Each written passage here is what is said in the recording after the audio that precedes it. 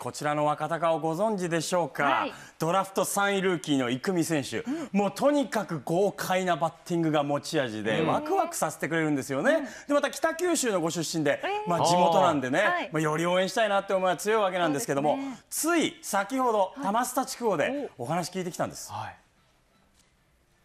あ来た。来ました来ました。来ました来ました。お願いします。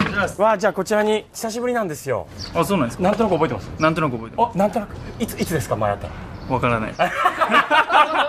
入団会見の時に。そうですよね。はい。だと思いました。あそうですか。なんかちょっと上手くなってるお話も。本当ですか？はい生見選手でございます。お願いしますちょっとお世辞まで言えるようになってね。めきめき進化しております。ご紹介します。誰もが期待するロマンあふれる長距離ヒッタードラフト3位ルーキーの生見こと甲斐生見選手です。さて一体何がすごいのかご覧ください。このバッティングですよ。ね豪快なスイングから生み出される圧倒的な飛距離。この打球、スケールの大きさ打席での期待感で言えばここ数年の新人選手の中でもトップクラスでしょう、はい、そしてその豪快なバッティングとは正反対とも言えるような愛らしいキャラクターも人気の一つなんですね、えーここまで2軍では打率2割3分8厘ホームラン4本22打点と新人選手としてはまずまずの成績、うん愛称は育美の一君。プロでの手応えについて伺いました。一君でいいんですよね、はい、ここまでまあ2割3分8厘、はい、ホームラン4本。打点22という成績ですけどもいかがですか？いやまだ全然ダメだなと思います。ダメですか、はい、めっちゃすごいホームランも打ってるじゃないですか。いやちょっと率も残したいですし、うん、ホームランももっと打ちたいのでまだまだです、まあ、目標にしてる率ってありますか？3割です。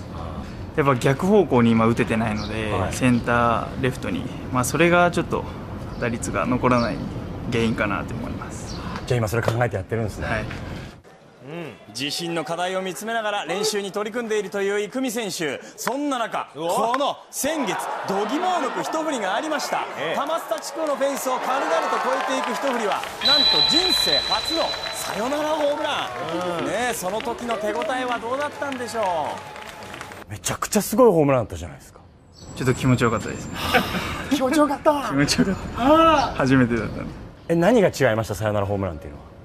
なんかみんな、ま、ホームにいたので。そうです景色が違うなそうですよね。それ実際自分が打つとどんな気持ちになりました？行っちゃった。ヒーローや。思っちゃいました。ああどうですか？また打ちたいですか？一軍で打ちたいです。ね楽しみですね。もう愛される理由分かりますよね、はい、えー、控えめな言葉の中にも力強い決意の生見選手。そんな新人離れしたバッティングを生み出しているのは何といってもこのビッチビチに詰まった強靭な下半身。ということで今回はその太ももの太さを測らせてもらったんですね。一般成人男性の平均およそ53センチと言われていますが果たしてその太さは？うわすごいよ。うわすごいよ。ギチギチだよあ70スピードスケートの選手とかより太いっすよ本当ですか？はいやっぱ太ももすごいっすわまだデブなんだっけ違いますよガンダムみたいな下半身してるもん。本当ですか？うん。ガンダムがピンと結果はまさかの70センチ。えー、もう野球はね下半身が基本だと言われますが、そりゃこの豪快なバッティングも生まれるわけなんですね。未来の4番候補、今後の目標は？えっともっとホームラン打てるように頑張りたい。玉さんはどこまで？えー、っとネット越すぐらい。ネット越す。場外ホームランを目指して。ホームランを目指して、はい、率も残しながらやっぱホームランもいっぱい打てるように頑張りたいです。頑張ってくださいね。応援しますね。いっくん頑張れ。ありがとうございます。ありがとうございます